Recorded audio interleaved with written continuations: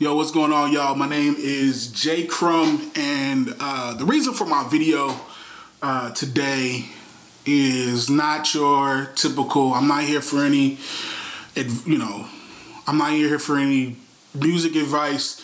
I'm not here to rap for y'all. I'm not here to do any of that. Uh, I really uh, have some stuff weighing on me heavy, and I need to talk about it, right? And I, you know, I got therapy and everything like that, but I, I, I feel like I got some stuff on my heart that I really feel like I need to share. Um, I'm just gonna rip the band-aid off. So growing up, I was part of a cult. Now, that word I don't use loosely. That word isn't something that I'm, it's not an emotional response. It is after taking years of analyzing what I went through and the people I love went through. Um, and checking the data, checking the stories, checking everything, checking all the boxes. I spent, I basically spent the last few years checking the boxes to make sure that term isn't being loosely, that I'm not saying anything that's an emotional response or anything like that. I was part of a cult. Not only that, I left that cult and I joined another cult. Fam, I am, uh, yeah, I don't know. I, uh, I, I, I, I'm, it's embarrassing, um, to think about, right? It's embarrassing to, to process. Um, but I have to like understand that, man, um, a lot of this isn't my fault, right? And like coming to that realization um, has been a struggle, but um, I think I'm there. Uh, but I need to talk about this. Um,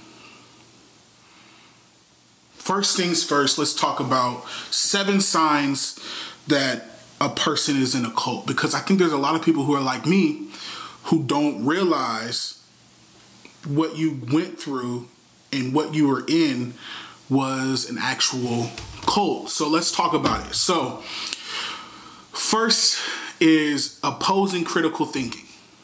So anytime you have a question, or anytime you say, "Hey, this doesn't make sense," or anytime where you're like, "Hey, this doesn't seem to line up," and you're, you know, you you you face opposition whenever that comes up, or you know, you're told, "Hey, stop asking questions, just have faith," you know, things like that. That is one sign that hey, you might be in a cult.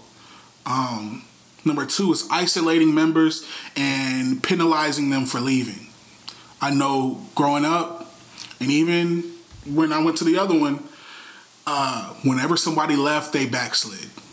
That's what it was. Like if you're not here, you backslid. If you, you know, even if you went somewhere else, you're you went somewhere that doesn't have the truth. You went somewhere you backslid. There is no other reason for you to leave here unless we send you or you backslid. And um that happened over and over and over again.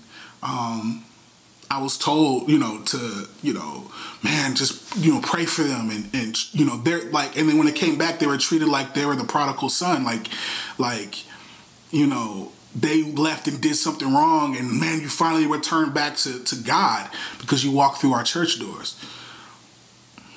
That's, that's, that's wrong. Number three, emphasizing special doctrines outside scripture. Um, went through, went to a church that you know, um, they would laugh, right? They would just laugh, and that was like their thing. Like they would, they called it laughing in the spirit, and you know, they would just have a moment where they just break into this crazy laughter. That's not in the scriptures. You know, um, there were belief systems, you know, that, you know, if you weren't baptized in Jesus' name, and if you did not speak in tongues like you were going to hell. That's not you have to twist the scriptures into a pretzel to even try to make that make sense, right? Um, another one is uh, uh, people seeking inappropriate loyalty to their leaders. Um, that's people dedicating their whole life being loyal to this person, right? They're not getting paid, you know, to, to do all the things they do. Everything's coming out of their own pocket. Um, you know, they're they're helping build their house. They're they're doing all the construction for them. They're doing like all these things are happening. And, and, and, there's a there's a difference between like yo, I'm here to serve, and and like this crazy loyalty that like yo, this person can never be wrong. Like even if you're telling me something that I know is wrong, I am I'm riding because I'm loyal to you. That's that's that's crazy. That's crazy.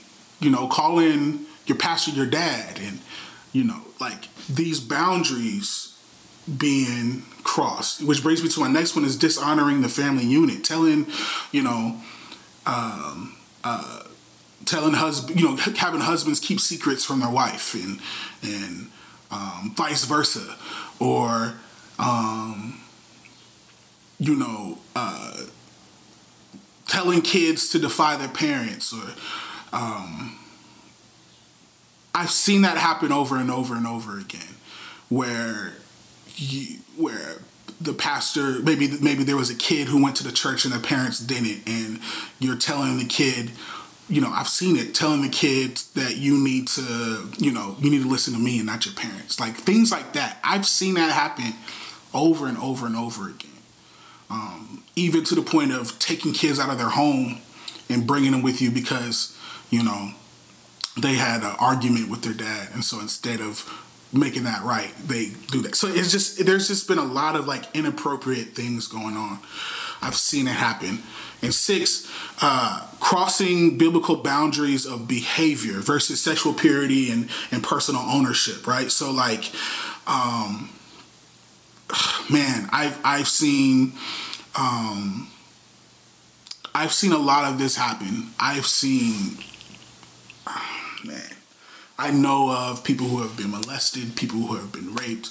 Um, I know of uh, a lot of that just just weird um, weird awkward touching and inappropriate boundaries just just a lot of inappropriate physical boundaries.